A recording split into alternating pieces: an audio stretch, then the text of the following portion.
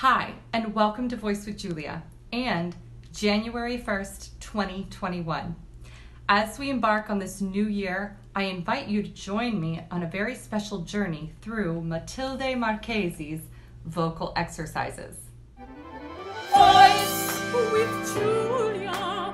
Change your voice. Change your life.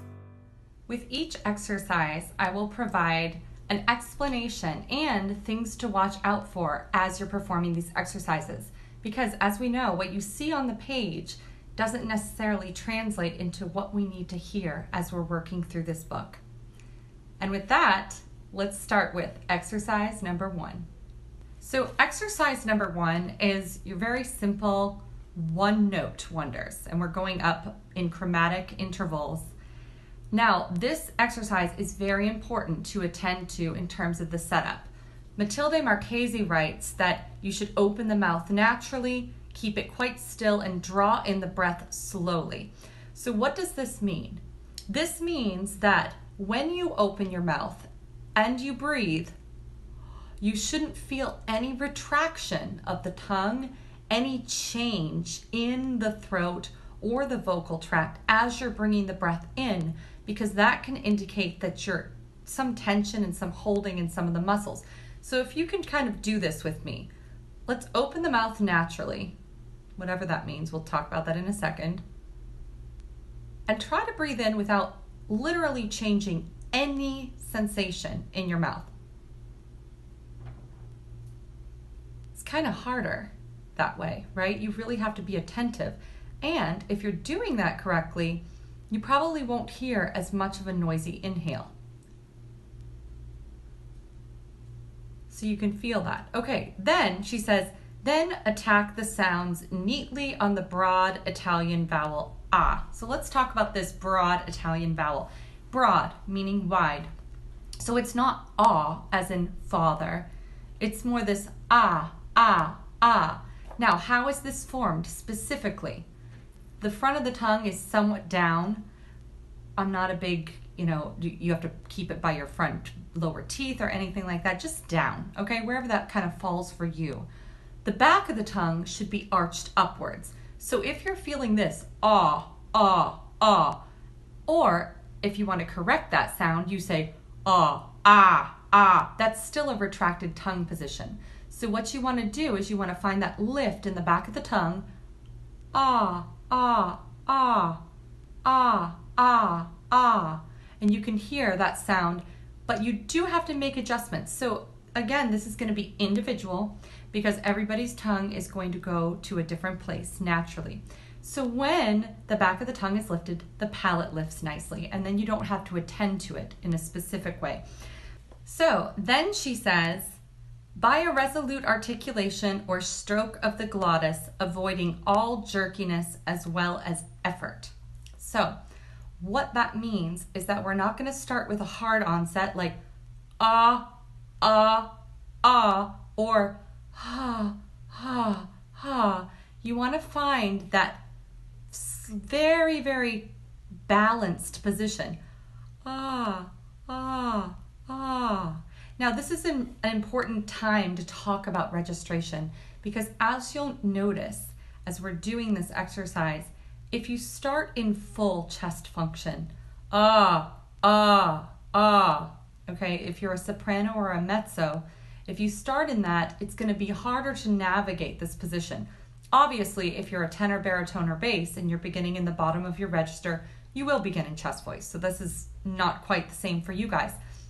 But as a soprano or a mezzo, you need to be cognizant that we have to go up into the head voice. So, how we begin in that chest register has to be very mixed, even from the outset. So, if you're starting ah, ah, it's a little bit too much chest. So, you want to feel that ah, ah, ah, and there's a baby hookup to the head voice register. Okay, so we're gonna start this exercise. And again, we're going up in chromatics taking a breath on the fourth beat. So we hold the note for three beats, we take a breath on the fourth, then we come back in on beat number one. Ah.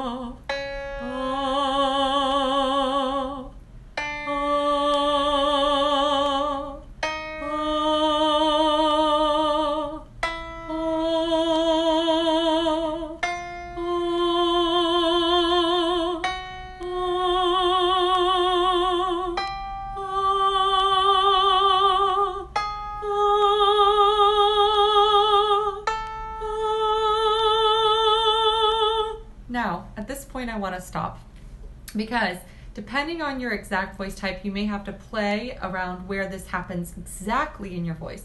But around this point, if you're a tenor, baritone, or bass, or a soprano or a mezzo, depending on where you began in the scale based on your voice type, this point is where you will have to start to either cover or tilt the larynx. So if you're a soprano or mezzo, we're going into that beginning of the second passaggio. You really need to feel the influence of the head voice at this point because if you don't turn over quite enough, you can go up into that second passaggio, okay, but there's going to be too much weight and then it's going to not flip over to the full head register. And so you're going to lose that ease in the top. And if you're a tenor, baritone, or bass, if you don't cover appropriately, it'll feel again the same way. Everything gets wide and sort of pushed out. So at this point, for me, I like to really think about this beginning on A4 or B flat 4. So I can really start thinking about this tilt and the vowel color will change slightly. Again, you have to experiment because my version of uh or ah or uh is very different from maybe yours. So you have to play around with the conception of that vowel. Some people feel that they don't modify at all, but the vocal position is changing, so technically the vowel is modifying naturally. Um, you, it doesn't really matter which way you view it from, either from vocal position or from vowel, but whichever way sort of helps you get to that tilted position. So I'm going to continue on up the scale and into the second passaggio for sopranos and mezzos. We've got this.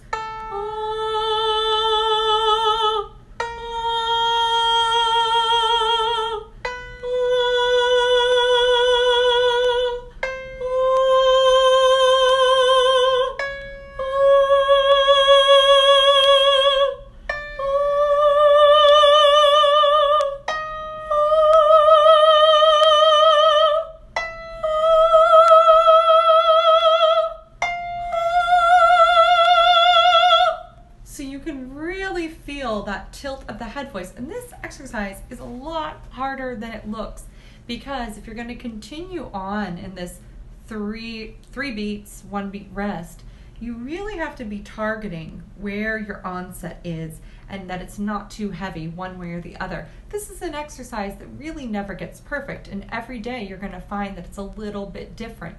So this is a great one to sort of check in and revisit is are all of my articulators out of the way? Is the resonance starting in the right place? And i like to conceive that when i begin the onset that it's slightly lighter. So you get that that very like nice record record player touch where you put the pin right on the record player. Um, and beginning that from a little bit of a smaller position is always helpful without any squeezing in the throat muscles. Okay so let's give that a try and I'll see you for day two.